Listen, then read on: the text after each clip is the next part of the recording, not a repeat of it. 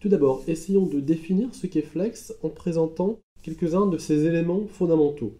tout d'abord, nous avons le SDK de Flex qui est gratuit et open source et qui se compose principalement du framework Flex écrit en ActionScript 3 et du compilateur MXMLC qui permet de compiler une application destinée à s'exécuter dans le lecteur Flash au sein d'un navigateur web, et puis le compilateur AMXMLC qui permet de compiler une application Flex mais pour s'exécuter au sein de la machine euh, virtuelle Adobe Air.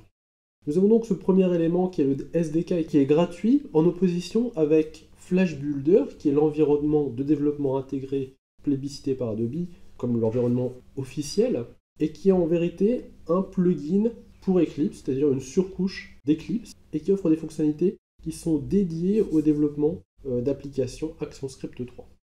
Ensuite, on pourrait parler des langages de programmation. Donc Flex utilise bien sûr l'ActionScript 3, mais permet également d'utiliser euh, deux langages qui sont en fait des langages descriptifs, le MXML et le FXG. Le MXML qui va nous permettre de déclarer euh, au sein d'un fichier portant l'extension MXML eh bien, les composants d'interface utilisateur de Flex, mais également d'autres types de composants non visuels, comme par exemple une array collection, qui correspond à une collection de données, et puis le langage fxg, qui va nous permettre, par la déclaration de balise fxg, de dessiner au sein du lecteur Flash. Un langage ici de description de tracé vectoriel. Ensuite, si on veut parler de Flex, eh bien on peut également parler des deux socles d'exécution, les machines virtuelles, au sein desquelles une application Flex peut s'exécuter.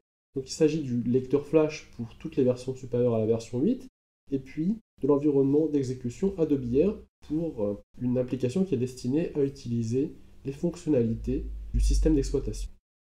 Une autre façon de définir Flex, de présenter Flex, ce serait de montrer eh bien, ces différences, quelques éléments, avec l'autre environnement de développement qui est Flash, et qui historiquement est antérieur à Flex. Donc si on considère Flash et Flex du point de vue, bah, par exemple, de l'animation, on sait que Flash utilise le concept de scénario, de timeline, pour définir une animation, là où Flex ne va pas proposer ce même concept de scénario et va plutôt proposer d'utiliser des packages d'effects, package mx.fx, pour faire exactement la même chose, c'est-à-dire effectuer des transitions entre les différents états euh, d'une application qui sont en vérité des animations.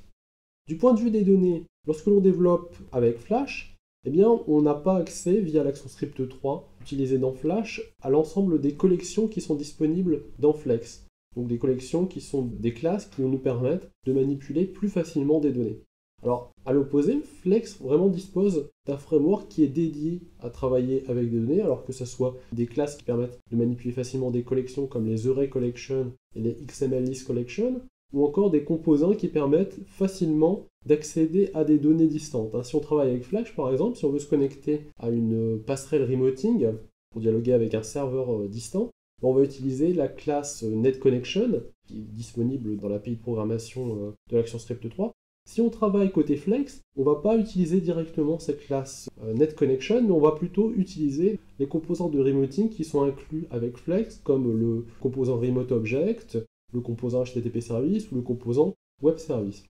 Côté design, alors maintenant, côté Flash, c'est un outil qui est initialement destiné aux graphistes. Flash, donc on a beaucoup beaucoup de facilité si on est graphiste pour produire une interface visuelle dans Flash. C'est facile et on a de nombreux outils qui sont dédiés pour travailler le graphisme dans Flash.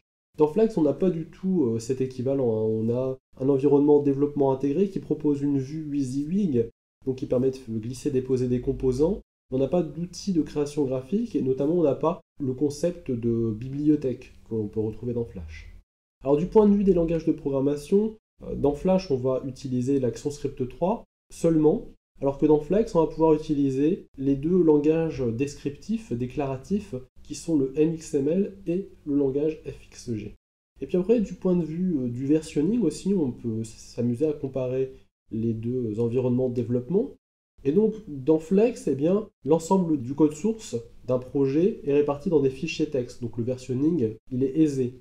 Dans Flash, avant la version euh, CS5, eh on avait un projet Flash qui se trouvait dans un fichier binaire, un .fla, Et donc, euh, c'était pas facile de, versionner euh, un projet Flash en utilisant les, outils de versionning habituels comme Subversion, CVS. Maintenant, dans Flash CS5, c'est beaucoup plus euh, facile. Le versionning a été amélioré avec le nouveau concept de projet XFL, donc pour décrire un projet Flash sous la forme d'un dossier avec des fichiers XML qui décrivent par exemple les éléments de la bibliothèque.